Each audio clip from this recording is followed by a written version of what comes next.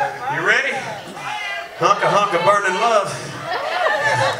That's the wrong era, but it's close, you know. All right, ladies and gentlemen, my last song for tonight. Hope you've enjoyed it. That was it. No, I'm just kidding.